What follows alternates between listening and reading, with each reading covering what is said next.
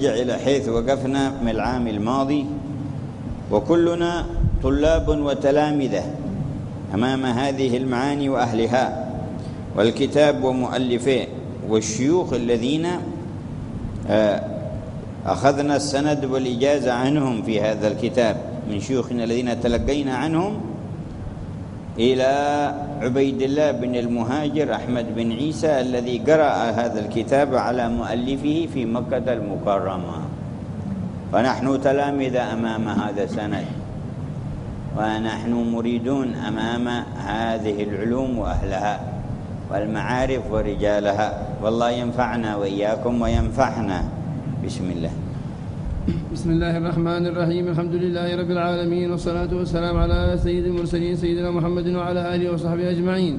من كتاب قوت القلوب في معاملة المحبوب للشيخ أبي طالب المكي إلى أن قال ورضي الله تعالى عنكم الفصل التاسع والعشرون فيه ذكر مقام أهل المقامات من المقربين وتمييز أهل الغفلة المبعدين. فإذا كان العبد بوصف ما ذكرنا كان كما قال الله تعالى والذين هم لأماناتهم وعهدهم راعون والذين هم بشهاداتهم قائمون. وقال بعض العارفين عمر العبد أمانة الله تعالى عنده يسأله عند موته. فإن كان فرط فيه ضيع أمانة الله تعالى وترك عهده. وإن راعى أوقات أوقاته فلم تخرج ساعة. أوقاته أوقاته فلم تخرج ساعة إلا في طاعة الله. حفظ أمانته ووفى بعهده فله الوفاء من الله على الوفاء. كما قال تعالى وأوفوا بعهدي أوف بعهدكم وإياي فارهبون. أي في تضييع العهد وفي ترك الوفاء. وكما قال تعالى فمن كان على بينة من ربه ويتلوه شاهد منه. أي شهد مقام الله تعالى منه بالبيان فقام بشهادة الإيقان. فليس هذا كمن زين له سوء عمله واتبع هواه فآثره على طاعة مولاه. بل هذا قائم بشهادته متبع لشهيده مستقيم على محبة معبوده. وكان كمن وصف وصف في قوله تعالى أولئك الذين يدعون يبتغون إلى ربهم الوسيلة. أيهم أقرب؟ ويرجون رحمته ويخافون عذابه. وكمن مدحه بحقيقة الإيمان في قوله تعالى وإذا تليت عليهم آياته زادتهم إيمانا أي علامته ودلائله على ربهم يتوكلون أي به يثقون وإليه ينظرون وعليه في كل حال يعتمدون ولديه من كل شيء يطمئنون وعنده دون كل شيء يوجد يوجد يوجدون. ثم قال سبحانه وتعالى أولئك هم المؤمنون. حقا لهم درجات عند ربهم وليس أهل الحقائق من المتوكلين الذين مدحهم الحق بالحق وأعد لهم الدرجات العلى والكريم من الرزق كمن ذكره بعدهم. فقال وإن فريقا من المؤمنين لكارهون يجادلونك في الحق بعدما تبين لهم مع قوله ما يجادل في آيات الله إلا الذين كفروا. فجعل حال هؤلاء وصفا مشبها لمقام أعدائه. مشبه آه. مشبها. مشبها لمقام أعدائه لما بقي عليهم من أهوائهم وجعل مقام الصالحين بمعنى من من وصفهم في الآية.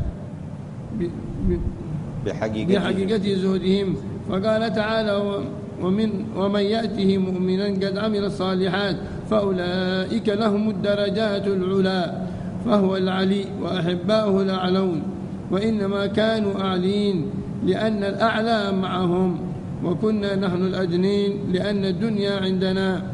قال سبحانه وتعالى في وصف من أعرض عن ذكره ولم يرد إلا الحياة الدنيا إذا أمر الحبيب بالإعراض عنه لأنه طلب إذ إذ أمر الحبيب بالإعراض عنه لأنه طلب الأدنى عاجلا أو سوف بالمغفرة آجلا. لقوة جهله وضعف يقينه. فقال تعالى يأخذون عرض هذا الأدنى ويقولون سيغفر لنا. وقال تعالى فأعرض عن من تولى عن ذكرنا ولم يرد إلا الحياة الدنيا. وقال في وصف الصادقين المؤمنين رجال صدقوا ما عاهدوا الله عليه. وقال في نعت غيرهم يا أيها الذين آمنوا لم تقولون ما لا تفعلون؟ كبر مقتا عند الله.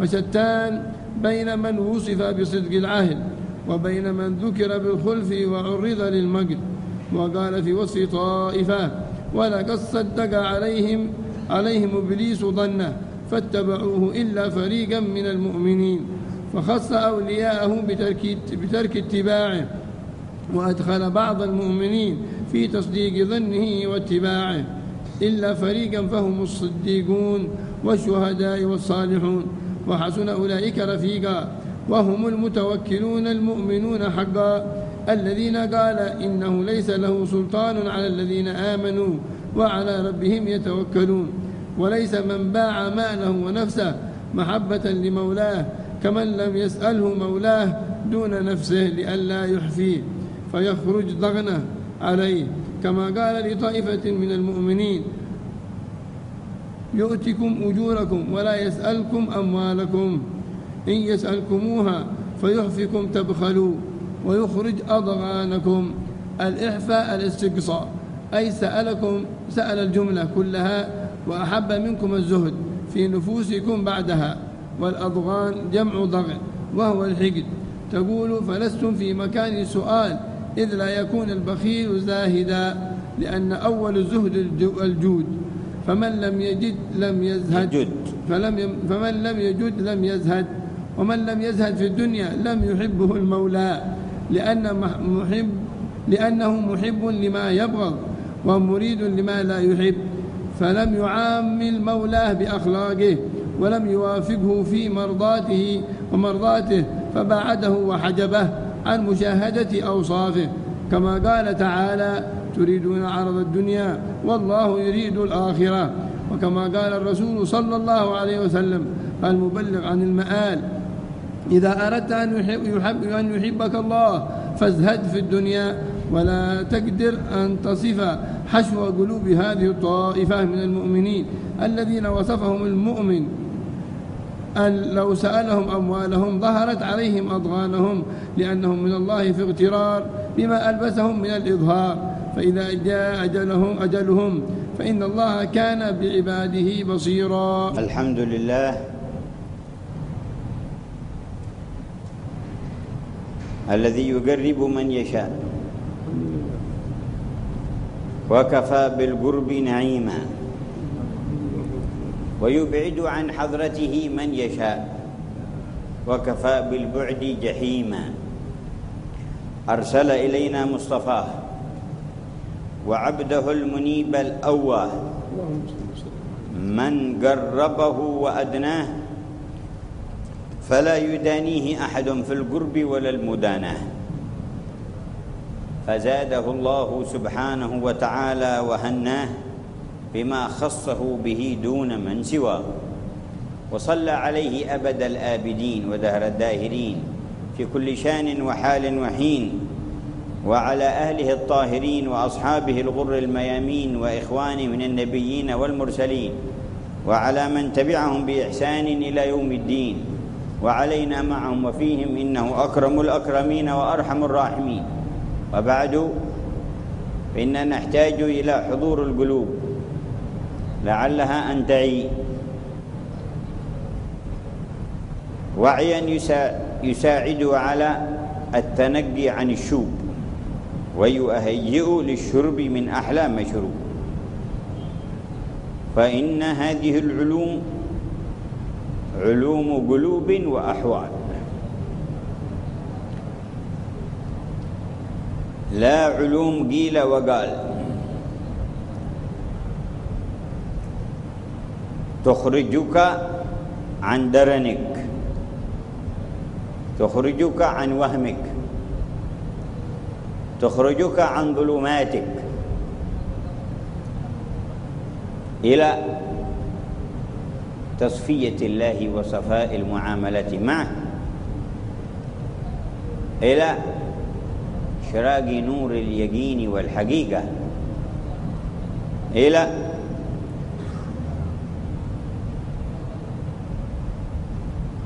ساحات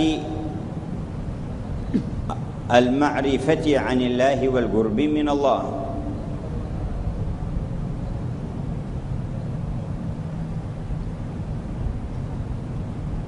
فيا من أراد أن يتطهر عن درنه إن ذلك المرام قد ذكر لك غلاء ثمنه. وإنه ليسير على من يسره الله عليه. لا يمكن دفعه إلا بحضور القلب. والاجتماع بالكلية على هذه العلوم النافعة الربانية المحمدية. يقول أنه في هذا الفصل يذكر لنا أهل المقامات من المقربين وتمييزهم عن أهل الغفلة المبعدين فإذا كان من المراعين لأماناتهم وعهدهم القائمين بشهاداتهم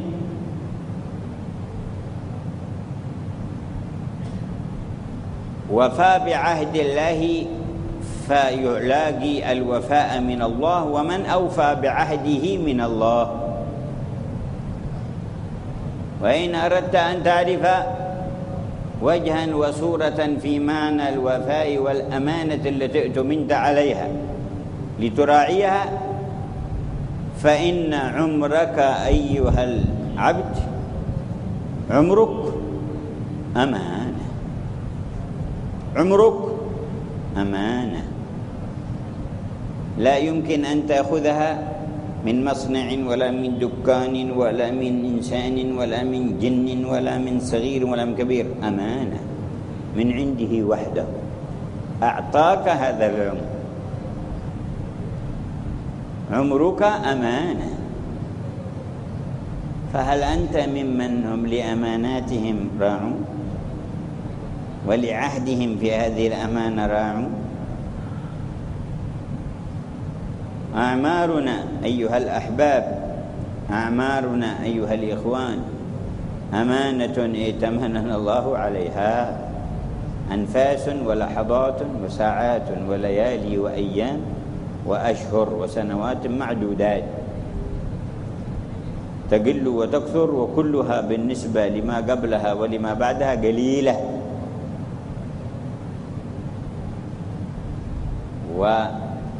وتطول وتقل وكلها بالنسبة لما قبلها قصيرة. تطول وتقصر وكلها بالنسبة لما قبلها ولما بعدها قصيرة. هذه الأعمال فما فعلنا بأمانة الله في العمر؟ قال بعض العارفين عمر العبد أمانة الله تعالى عنده يسأله عنه عند موته. وليس صلحت في الأمانة أمانة العمر. فإن كان فرط في فرط في العمر سهل عليه أن يمضي العمر في غفلة فضلا عن أن يقر نفسه على معصية ومخالفة لله تعالى. يجلس مجالس الغافلين والبطالين. وإذا جاءه شغل من الفساق بشيء من البرامج أخذ منه نصف الساعة والساعة والساعتين والثلاث والأربع والخامس. ضيع أمانة الله. ضيع أمانة الله.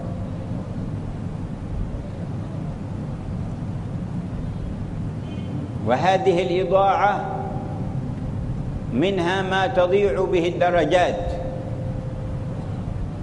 وهو كل من صرف من أعمارنا وأنفاسنا فيما غيره أحق في غير ما هو أحق وأولى بنا.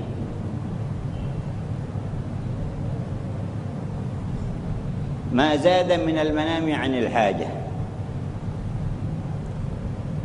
وما زاد من الكلام عن الحاجة.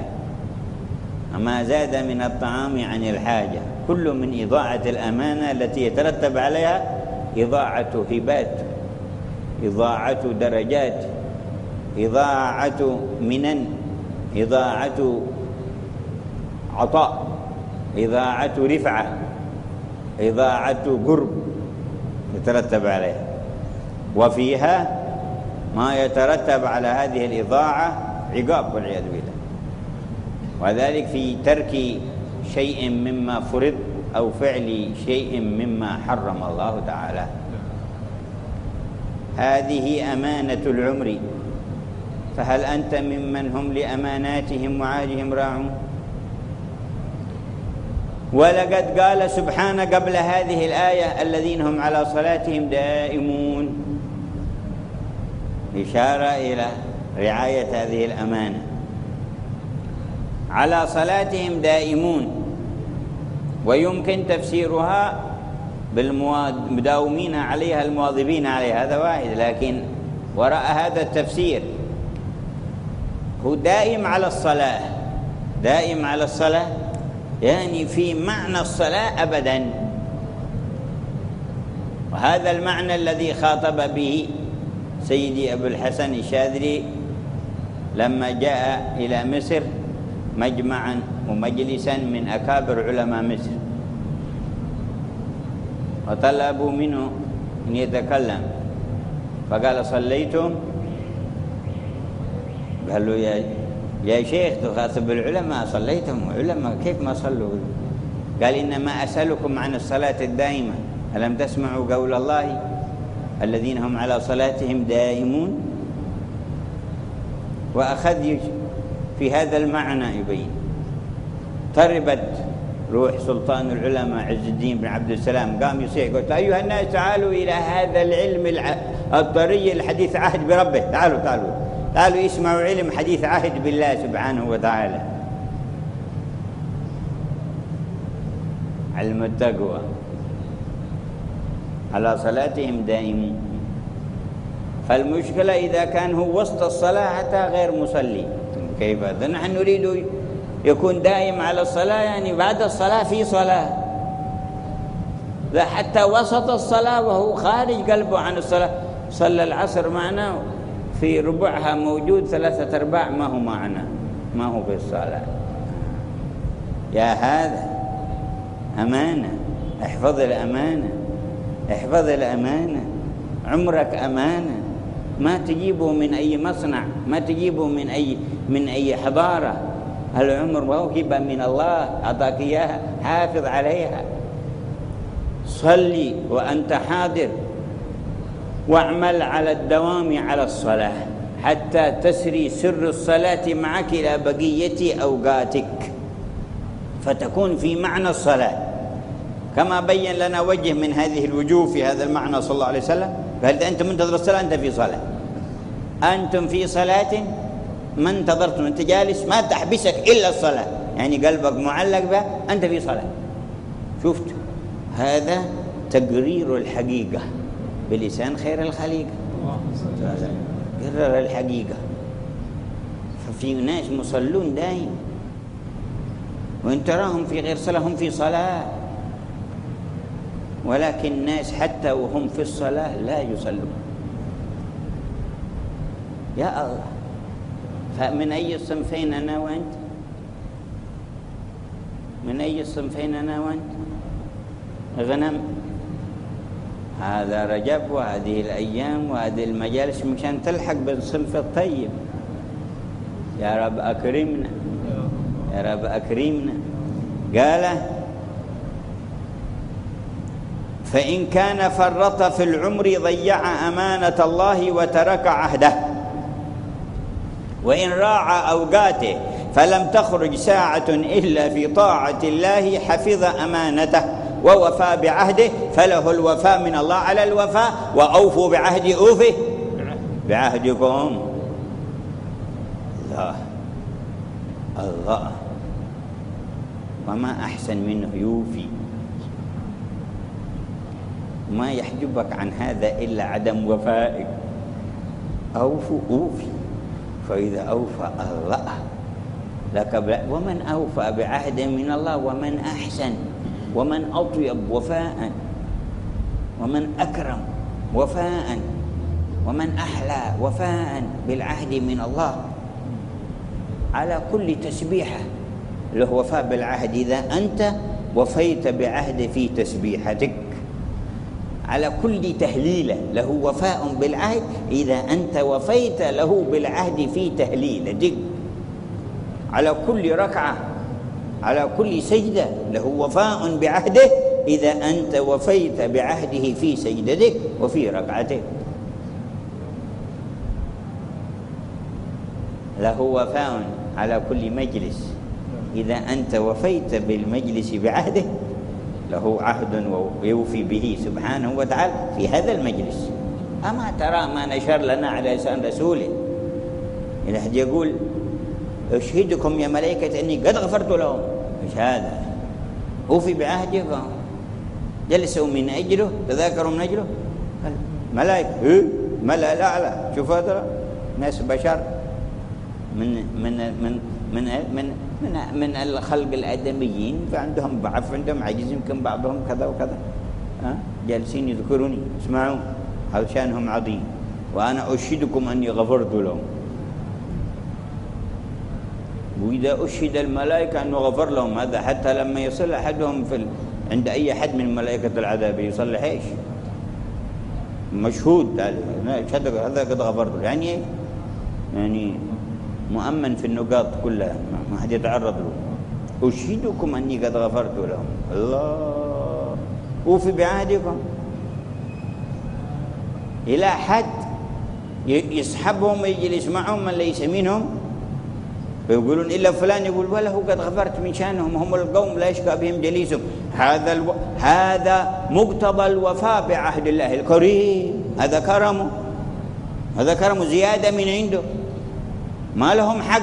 هو أعطاهم الفضل وأعطاهم الذكر وتفضل عليهم. قال حتى اللي يجلس معكم وأنا أفيض عليه أيضا. هذا عطاء واسع من حضرة الله ووفاء لائق بجود الله وكرمه. أوفي بعهدكم. فمن يعمل مثقال ذرة خيرا يرى. يقول وإياي فارهبون في تضييع العهد. لا تضيعوا العهود. ألا ترون؟ يقول لهم سيدنا يوسف لإخوان ألا ترون أني أوفي الكيل وأنا خير المنزلين؟ ما تضيعوا الفرصة. ولا تنسوا ذا الجميل. رجعوا ثاني مرة. آتوا بآخر نبيكم وفعلا رجعوا. وبمجرد ما فتحوا متاعهم وجدوا بضاعة ما نبغي. هذا مظهر الوفاء والكرم. ما يجوز لنا نضيعه ونفوته ونسيبه. نرجع إليه. ونمير أهلنا ونحفظ أخانا ونزداد كيل بعير. ذلك كيل يسير. وإذا كانت هذه حالة سيدنا يوسف الصديق مع أخوان من أوفى من ربي وربك؟ ترجع إليه؟ هل رأيت في كل ما أحسنت من المعاملة أساء إليك؟ هل رأيت قصر عنك في كل ما توجهت إليه بصدق؟ وليش تروح؟ فين تروح؟ تعال ألا ترون أني أوفي الكيل وأنا خير المنزلين؟ تعال لكن بالوفاء بالعهد فإن لم تأتوني به فلا كيل لكم عندي ولا تقربون. تعال موفي بالعهد. أوفي بعهدكم وإياي فارهبون الله. أفمن كان على بينة من ربه ويتلو فوق البينة واليقين والدلالة الواضحة شاهد منه. شهد مقام الله منه بالبيان ويتلو شاهد منه. فقام بشهادة الإيقان. هل هذا كمن زين له سوء عمله واتبع هواه؟ فآثر الهوى على طاعة المولى. فهذا قائم بشهادته متبع لشهيده مستقيم على محبة معبوده. فإيش وصفهم؟ دائما يتعشقون القرب إليه ويتوسلون إليه بكل ما يمكنهم التوسل به إليه من الأعمال والأحوال والأقوال وولاء الصالحين والمقربين. أولئك الذين يدعون يعني من من النبيين مثل سيدنا عزير سيدنا عيسى الذين عبدهم اليهود والنصارى وقالوا أنهم آلهة ولا إله إلا الله. أولئك يبتغون إلى ربهم الوسيلة. أيهم أقرب؟ هم قال يتسابقون في القرب من حضرتنا. ويبتغون لربهم الوسيلة. أيهم أقرب؟ فكل منهم يتقرب بمن هو أقرب يتوسل بمن هو أقرب إلى الله تبارك وتعالى. ها؟ أولئك الذين يدعون يبتغون إلى ربهم الوسيلة. أيهم أقرب؟ أيهم أقرب؟ يتقربون إليه ويتوسلون بمن هو أقرب إليه سبحانه وتعالى. فترجع وسائلهم كلهم إلى الأقرب. والأقرب محمد؟ الأقرب نبيكم محمد. اللهم صل عليه وعلى آله. يا ربي صل عليه. ما قرب الله أحد كما قرب محمدا ونعم الأقرب. يا من قربت الحبيب قربنا مع أهل التقريب. يا من قربت حبيبك محمدا قربنا مع من قربت من السعداء. الذين هم بشهاداتهم قائمون متبعين متبعين لشهيدهم. المستقيمين على محبة معبودهم برحمتك يا أرحم الراحمين ويرجون رحمته ويخافون عذابه. وإذا تليت عليهم آياته زادتهم ماما علاماته ودلائله وعلى ربهم يتوكلون أي به يثقون وإليه ينظرون عليه في كل حال يعتمدون. ولديه من كل شيء يطمئنون لديه. وعنده دون كل شيء يوجدون. ما تجدهم عند أي شيء. ها؟ ما تجدهم. ما تجدهم إلا عند الله مع الله. ها؟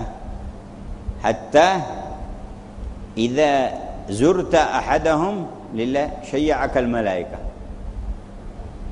سبعون ألف ملك في الحديث يشيعون من زار أخلو في الله.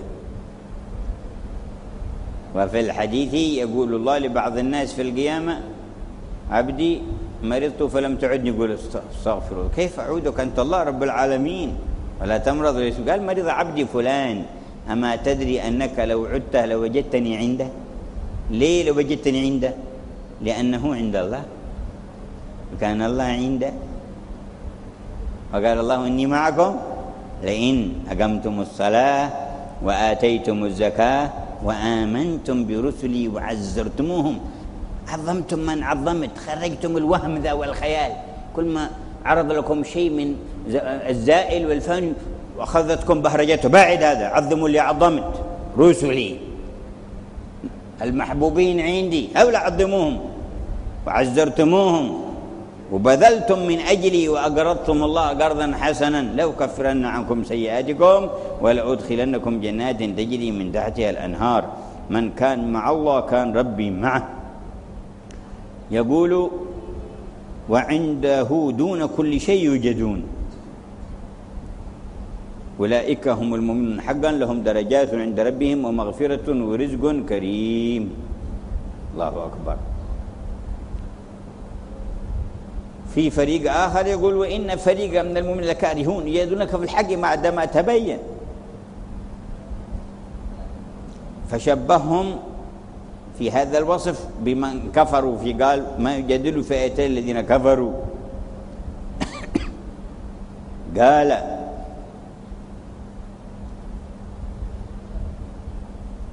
ومن ياته مؤمنا قد عمل الصالحات فأولئك لهم الدرجات العلى. ليش؟ قال هو العلي. وأحباؤه الأعلون. ولا تهنوا ولا تحزنوا وأنتم الأعلون إن كنتم مؤمنين يعني متحققين بحقائق الإيمان به وأنتم الأعلون إن كنتم مؤمنين. كلام واضح. هذاك تدور للعلو من فين؟ شوف العلو الثاني لما عرفوا حقيقته مجوه وتركوه. تلك الدار الآخرة نريد أن نجعلها للذين هذه العلو اللي يتنازعون الناس عليه سابقون إليه. مجوه كرهوه. نبذوه. دخلوا وأنتم الأعلى. الله. عند الله. إن كنتم من أعلى. علو حقيقي. ها؟ ما في انقلاب ما في تغير ما في اختلاف ما في ما في شيء من هذا. علو أبدي سرمدي. تريد العلو منين؟ نخاطب أنفسنا نخاطب أسرنا يطلبون العلو من أي باب من أي عمل. يطلبون العلو منين؟ إيه اللي تسرب لافكارنا أفكارهم؟ ذا من الوظيفة وذا من الشهرة وذا من آه، المال وذا من القصر الحسن وذا من السيارة وذا من الزي وذا من المكياج وذا من آه، الزي الساقط الهابط وذا من الأغاني. يا هذا يا هؤلاء. كذبوا الوهم وصدقوا الله. لا طلب للعلو إلا من هذا الباب. كن مع الأعلى. سبح اسم ربك الأعلى. فيعليك. جل جلاله. قال وإنما كانوا أعلين لأن الأعلى معهم. ماشي علو لمخلوق بذاته كانوا أعلون لأن الأعلى معهم. وإنما كنا نحن الأدنين لأننا مع الدنيا. مع الدنيا وقعدت أدنى كما دني لو قعدت مع الأعلى تعلو. مع الأدنى تتدنى. لأن الدنيا عندنا أي مرغوبة مطلوبة محبوبة قاطعة لنا عن حقيقة محبة الله. ولذا أمر النبي بالإعراض عاما أن قصر إرادته على الدنيا. يعني داخل داخل باطنه وباله قصد الدنيا قبل كل شيء. وإن عمل صور العبادات لكن ميله إلى الدنيا. فأعرض عمن تولى عن ذكرنا لأن من تحقق بذكر الله ما يقوى على تقديم غيره عليه أصلا. ما يقدر على تقديم غيره عليه ولا على إيثار غيره عليه. أعرض عن من تولى عن ذكرنا ولم يرد إلا الحياة الدنيا ذلك مبلغهم من العلم. يعني حجبوا هناك وقسروا مساكين. رموا. إن ربك أعلم بمن ضل عن سبيله وأعلم بمن اهتدى. لأنه طلب الأدنى عاجلا وسوف بالمغفرة آجلا. لماذا؟ لقوة جهله وضعف يقينه يأخذون عرض هذا الأدنى ويقولون سيغفر لنا؟ قال الله لنبيه هذا صنف أعرض عنهم فقد أعرضنا عنهم. فين يروح؟ عند القلوب المولعة بالله. تذكره وتدعو. واصبر نفسك مع الذين يدعون ربهم بالغداة والعشي. يريدون وجهه ولا تعد عينك عنهم. هؤلاء هؤلاء محط نظرك لأنهم محط نظرنا. أما حط نظر الله ورسوله من الخلق الذين يدعون ربهم بالغداة والعشي يريدون وجهه. المولعين بالذكر المولعين بالعبادات. ربي اغفر لي وارحمني وادب علي. استغفر الله لا سبحان الله الحمد لله لا إله إلا الله لا إله إلا الله لا شريك له له الملك وله الحمد يوم الله بها الله بها الله بحسن الخاتمه يدعون ربهم بالغداة والعشي مع قلوب حاضرة مخلصة يريدون قال بس هؤلاء محط نظرنا فيا حبيبنا هنا النظر. حط نظرك حيث نظرنا. ولا تعد عيناك عنهم؟ ما تبعد منهم هذول هم فقط. ها؟ هذا الصنف هم محط نظر الله ورسوله. كيف ما ترغب تكون معهم؟ كيف ما ترغب تكون منهم؟ الله. قال في وصف المصادقين المؤمنين رجال صدقوا ما عاهدوا الله عليه. قال في غيرهم لما تقولون ما لا تفعلون؟ فشتان بين من نصب بصدق العهد وبين من ذكر بالخلف وعرض للمقت وهل قد صدق عليهم إبليس وظنه صدق وصدق قراءتان. إبليس فاتبعوه إلا فريقا من المؤمنين. فيقول بعض المؤمنين يصدقون إبليس. كما قال عن طائفة المنافقين لو خرجوا فيكم ما زادوكم إلا خبالا ولا أوضعوا يعني أثاروا الفتن. يبغونكم الفتنة. وفيكم سمعون لهم. وسطكم ناس يفتحون أذانهم للمفتنين أصلا. المنافقين حتى للكفار يسمعون. هذا الضعف. الضعف الذي يحصل في البشر بضعف الإيمان. يوجد مجتمع مؤمن قوي متواصل يكون في فيكم سماعون لهم. تنفذ فتنتهم بهؤلاء السماعين. لو ما حد يصغي لهؤلاء ما بيأثرون. لكن فيكم سماعون لهم. كذلك جماعة من المؤمنين منطوية الحيلة عليهم يصدقون إبليس في كثير من الوساوس. هم مؤمنين مساكين لكن ضعيف إيمان ضعيف. فصدقوا إبليس. ولكن فريق من المؤمنين إن عبادي ليس لك عليهم سلطان. ها؟ ثم بعد ذلك إن الشيطان لا يفرق من ظل عمر. شوف الفرق. قال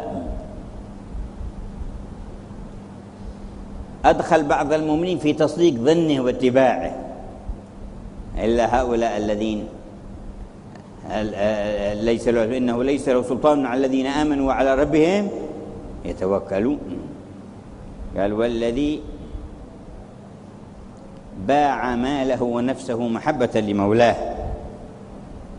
لإظهار هذه المعاني لنا في عالم الحس والواقع. أرسل الحق تعالى. سيدنا جبريل لسيدنا محمد قل لأبي بكر أنت راض عن مولاك في فقرك هذا؟ كنت تاجر كبير ستة دكاكين بمكة قفلتها واحد بعد الثاني مشغول بحبيبنا. الإنفاق عليه وعلى الذين أسلموا معك من هؤلاء المستضعفين. اشتريت بلال اشتريت ثاني اشتريت ثالث اشتريت رابع من المعذبين وتطلقهم. ها؟ والحين أنت في المدينة ساعة جوع وساعة تشبع ها؟ وتتخلل بالعباء. هل أنت راضي؟ يا أبا بكر هذا جبريل يقول يقول لك الله هل أنت راض عنه في فقرك هذا؟ حمزة. قال على ربي أسخط أنا عن ربي راض أنا عن ربي راض أنا عن ربي راض. أنزل الله تعالى لما ذكر النار قال وسيجنبها الأتقى الذي يؤتي ماله يتزكى وما لأحد عنده من نعمة تجزى إلا ابتغاء وجه ربه الأعلى ولا سوف يرضى. قال سنرضيك.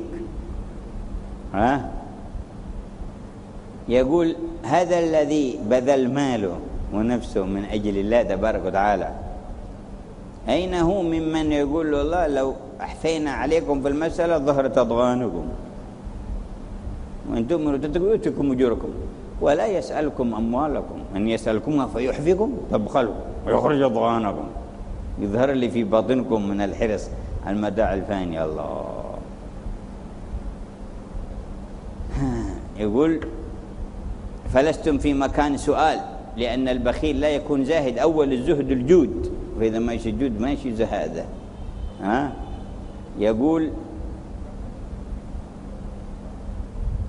فمن لم يجد لم يزهد. ومن لم يزهد ما أحبه المولى. لماذا؟ لأنه يحب ما يبغضه. ومريد لما لا يحب سبحانه وتعالى.